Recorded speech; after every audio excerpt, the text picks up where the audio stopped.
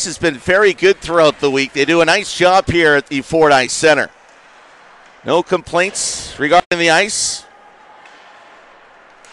As the Red Wings, long lead pass ahead. Michaud lost the handle at the last moment. He was bothered from behind, now loses his stick.